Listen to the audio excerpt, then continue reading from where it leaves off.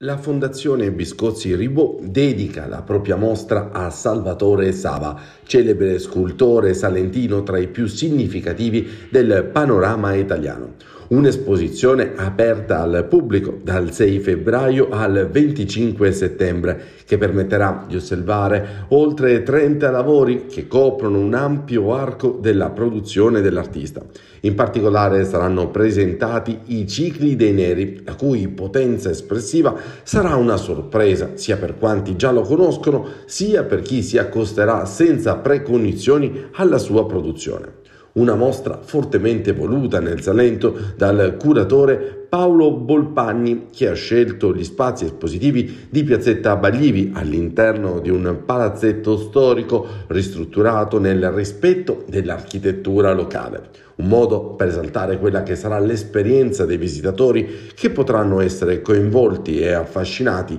non solo dalla bellezza delle opere dello scultore salentino Salvatore Sava, ma anche dal fascino del barocco leccese.